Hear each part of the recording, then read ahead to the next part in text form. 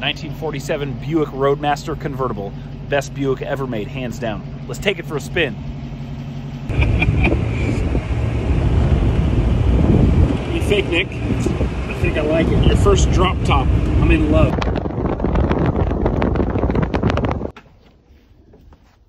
There we go.